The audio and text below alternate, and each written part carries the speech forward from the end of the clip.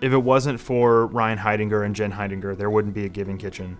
Uh, there wouldn't be a Staplehouse. And that's the, the, the amazing story that out of a fundraiser that delivered beyond anyone's wildest expectations uh, came this organization and came this restaurant that had meant so much to so many different people. Well, the Giving Kitchen offers hope and peace of mind.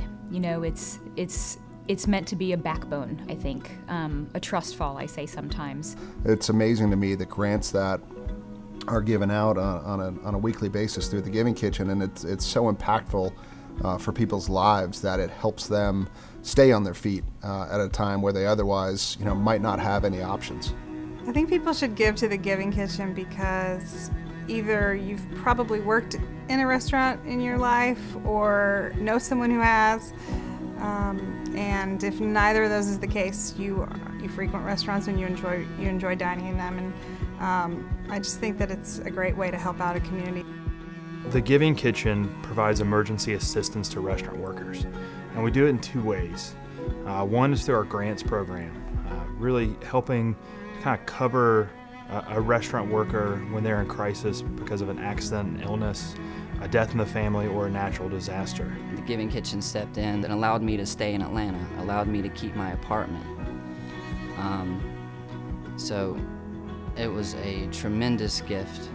Our Safety Net program is a referral service uh, that connects anyone in the restaurant industry, whether they qualify for a grant or not uh, to a, a, community resource. I thought that I would not be able to get assistance or grants from the Giving Kitchen because of my situation. I mean, it was just dental work. I didn't have dental insurance. So I just started by calling and they let me know about the Safety Net program. For the first time, the Giving Kitchen has a strategic plan and it's a blueprint for how we're going to stair step um, outside the metro Atlanta area and help serve um, people across Georgia and, and hopefully one day across our region and across our country. You know, Athens was the first place that we expanded outside of the metro Atlanta area. It is a incredible, vibrant, food-driven community. We expanded because we had so many great friends and partners and supporters there. We are starting to accept grants from Columbus. One of the first things we did when we when we considered Columbus was reach out to some of the community leaders and begin building a network there uh, reaching out to the restaurant groups and the restaurant community. There really is a need in Columbus for the Giving Kitchen now. Um, with our city growing the way it is culturally, we're getting a lot more restaurants downtown and a lot more workers that are in need of assistance. The Giving Kitchen gives reassurance. The Giving Kitchen gives financial support. The Giving Kitchen gives comfort. The Giving Kitchen gives guidance. The Giving Kitchen gives a safety net.